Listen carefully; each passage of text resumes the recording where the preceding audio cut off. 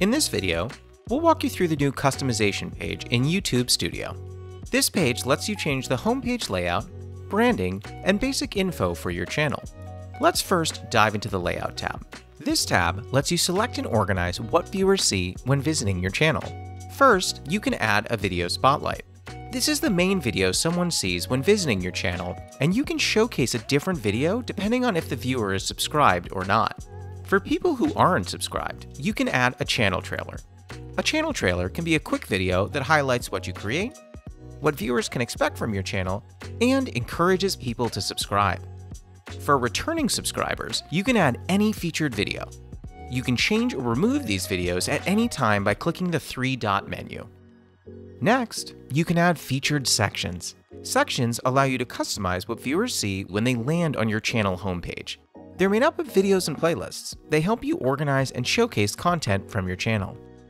To add a section, click Add Section. Choose if you want to feature videos, playlists, or channels. With videos, you can choose from a list that will pre-populate the videos for you. For example, uploads will automatically add any new video that you publicly upload to your channel. Popular uploads will automatically showcase your top 12 videos with the highest views. Playlists lets you highlight playlists already curated by you or other creators. Single playlist will display a carousel of videos you've added to that playlist, showing the most recently added video first.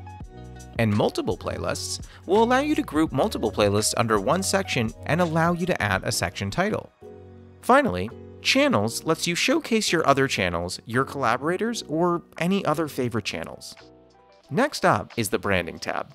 With this tab, you can add various branding elements that can help make your channel visually unique and let viewers know what they can expect if they subscribe to your channel. First, you can add a profile picture. Your profile picture will appear wherever your channel is represented on YouTube, like next to your videos, comments, and in user search results. Next, you can add a channel banner image. This appears across the top of your channel and can give viewers a visual sense of your channel and content. Make sure to follow the image size requirements to get the best results. Finally, if you add a video watermark, it will appear on your videos in the bottom right hand corner of the video player, and viewers can use it to subscribe to your channel. You can choose when it shows during your videos, at the end, at a custom start time, or throughout the entire video.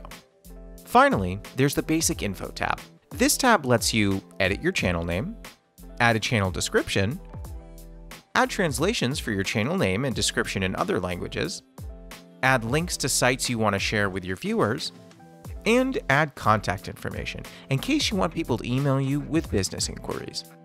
Once you make changes to any of these tabs, click Publish to make your changes live on your channel. For more info about how to use YouTube Studio, check out this playlist. Thanks for watching.